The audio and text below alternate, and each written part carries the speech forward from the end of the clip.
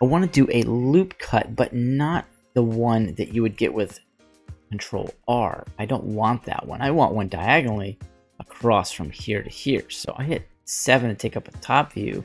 I'm going to press K, and then if you noticed along the bottom of your screen, you know you can't see it here, but you press C, you'll get a cut through, and then I'll come through and just left click place that and hit enter, and now I've got this cut right in the middle diagonally the way I want it. And then you can do that again any way you want. Now this gets even better because if I want to say grab a couple verts W, subdivide, now I've got a middle point, I can hit K, and then I'll hit Z to constrain it on the Z axis. And if I want to cut all the way through, I can, but on this one, I just want to leave one cut here and on the X axis and the Y the same. Enjoy. See you guys in the next one.